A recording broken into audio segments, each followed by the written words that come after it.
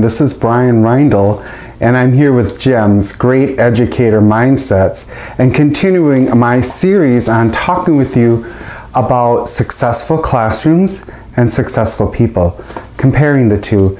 And today's episode is about um, how Richard Allington and Patricia Cunningham looked at that successful classrooms are well managed and at their high levels of engagement. So what does that mean? You already know as an educator that when disruptive behavior occurs, there's less learning going on when you're dealing with behavior. And um, we know um, what uh, helps bring down behavior is making sure that children are highly engaged.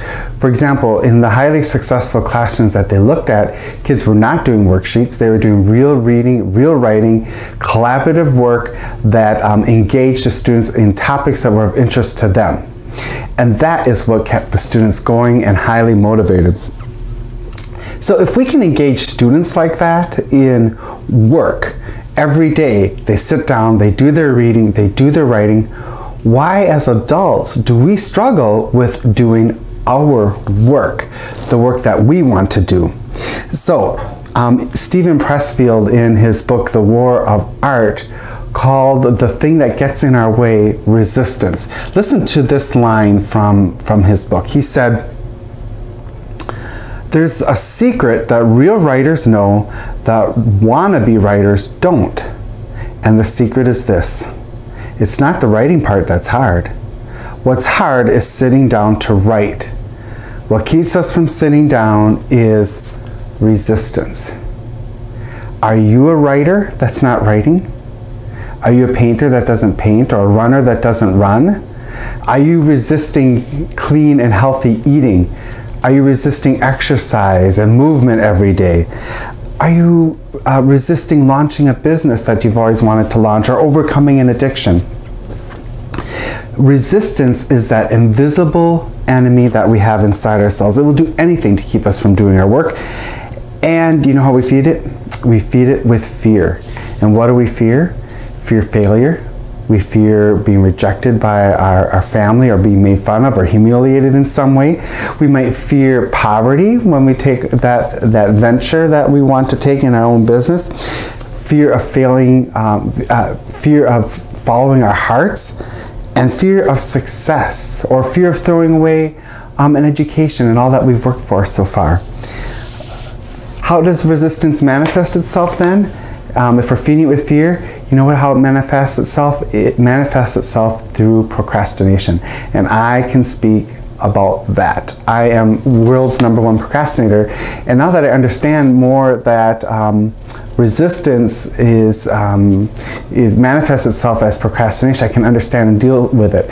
For example, it took me two days to finally sit down and write the script for this episode. I procrastinated on it, right? Because I had some resistance and everything else in our lives becomes urgent. For example, the groceries, the kids, the bills, shoveling the driveway, whatever the chores are that are urgent take precedent over what is important.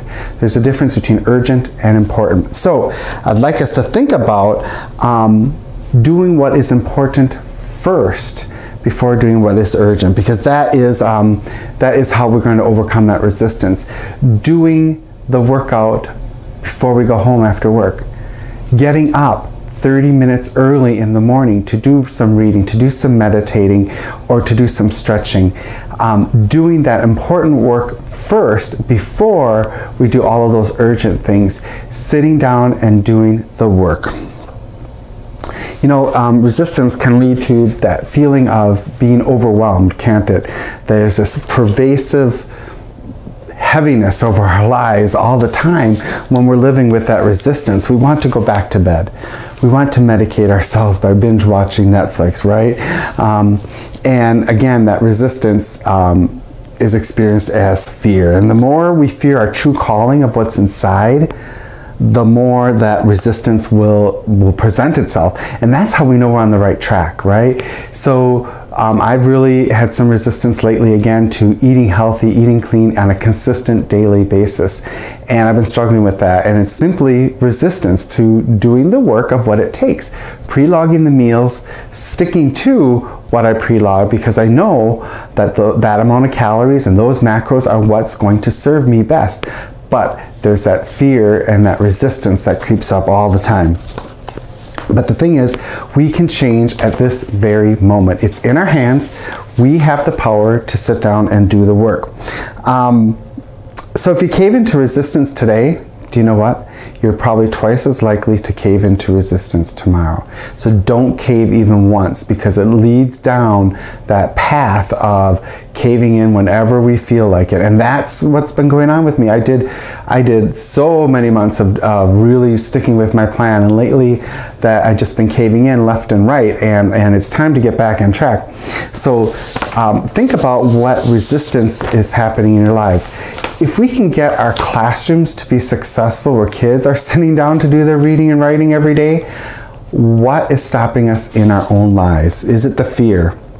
Is your life well managed like these highly successful classrooms? Do you put your workouts on your calendar every week and make them the priority and not let anything else get in the way? That's that's part of commitment too, right? Do you prep your food on Sundays so that you have it available as healthy eating throughout the week? That is what's important, right? Doing what's important first. What is life calling you to do? Is it important or are other things, other urgent things causing you to procrastinate on what is important in your life? Do you feel resistance? Good, that's a good sign. Now you can do it or don't do it. It's up to you. So take those thoughts with you. If you feel like that message is um, something that you'd like to comment on, please be sure to leave a comment. Share these videos and these experiences with others that you think can benefit from them. And be sure to check out my Facebook page for GEMS, check out my Google Plus page, and um, would love to have a conversation started. Until next time, this is Brian Reindl, a literacy coach here in Green Bay, Wisconsin, wishing you the best and brightest day of your life. Take care.